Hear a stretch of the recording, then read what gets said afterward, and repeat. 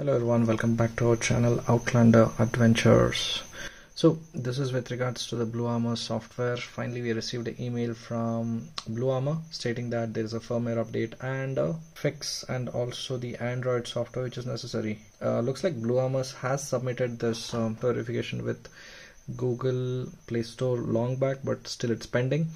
Uh, and there's another update which says that it's available already on the iOS uh, App Store for Android it is still pending. So meanwhile when it's happening you can go ahead and manually download and install. To install this it's an APK so it's not directly from Google. So it, it might request you to acknowledge that. So I'll go ahead and download it at my own risks.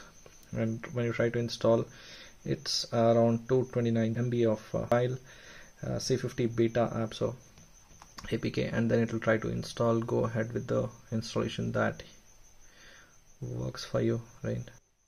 Package install to open it. And here we go. Unknown starting app.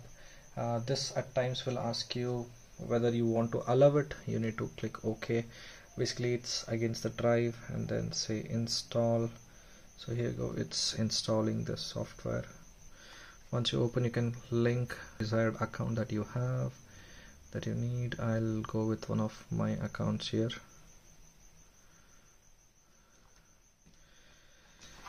Um, it's basically asking you to allow and also turn on.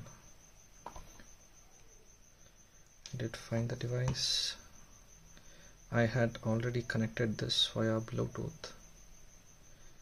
So this is the device right? Say next here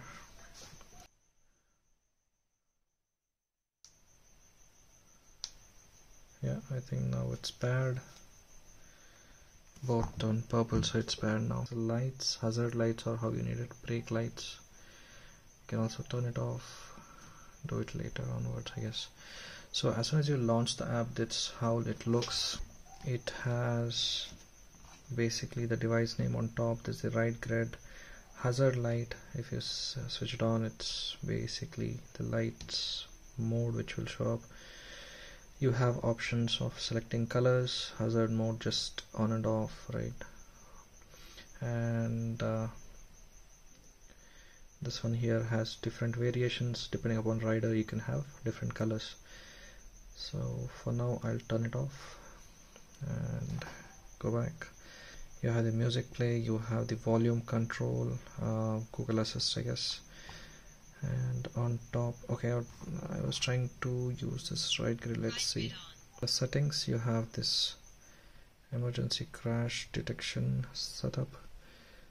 Looks like currently I'm not able to do anything with that but maybe because it's a beta maybe at a later stage you'll be able to see. So I try to pair it with the other device as well that is C30 the app seems a bit glitchy currently or from the try and test which I did it still does not do um, behave normal as of now. Uh, this will change because this is beta version so it will change. So currently it is the C50 Pro which is connected. Um, so even after that as you see the device is not detected by the app. Let me try restarting the app. And what does this do it still does not like the it's not detecting the app here and there. It's a bit glitchy. Okay there you go. It detected it now. Let me also try to switch on the TASIC E ride grid. It says requires a good cell uh, cell network.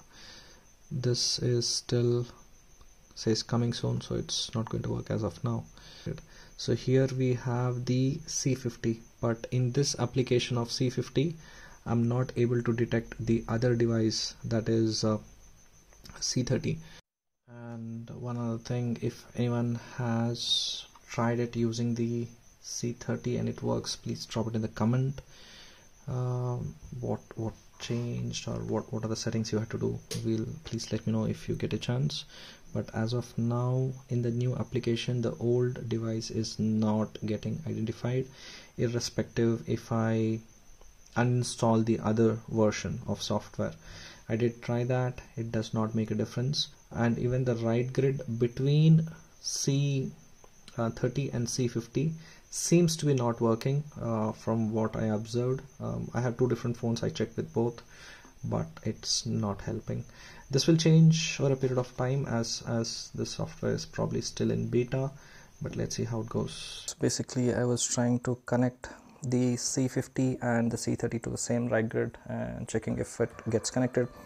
So here's the thing uh, let me try starting this device and also the C50 at the same time this is already paired with uh, this device here so it should get connected pretty quick here. Yeah it's connected. And this is also connected to other device. Now let me launch the apps for both right? Now once I do that this will take 30 seconds or so to get connected. This one is pretty fast as usual. Old device I've almost used this for one year now. Now let me try to switch on ride grid here I have created a public group and a private group while I was testing. I'll switch this to public for now and then we'll come back. So this is all set. The Bluetooth is connected. Let me try restarting the app. If not I'll also give a restart to the device. Let me restart the device. That would be a better option okay this was disconnected. Let me also start this. The T-stick right? Now it's still trying to connect. It's not yet connected.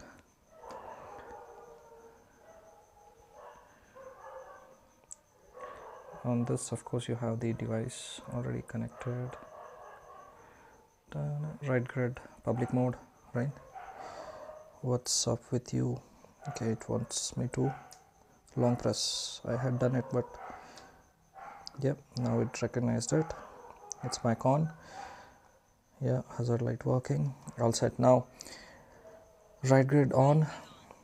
It went on this device as well. Now let me try launching and trying to see if I can have both devices on the same ride grid.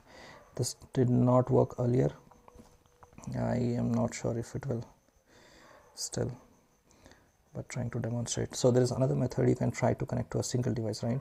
Where you can switch to a private network and then in the private network uh, on the old C uh, C30 right? C30 so what you can do is you can go ahead and basically invite someone. In the new device I go ahead and scan. And as soon as I scan what I had experiences app will crash. This happened a couple of times but maybe this is a bug as of now maybe it will rectify in future. I tried it the other way as well where you can try to join and this device into there. So yeah now this device is connected here. Once I do that uh, like once the ride grid does not switch on or application shuts down it does not like to switch on the ride grid uh, on the C50 the only option is either disconnect and reconnect the device let me do that quickly here. Sorry about all the dogs barking at the back end. Yeah I'm switching it on back.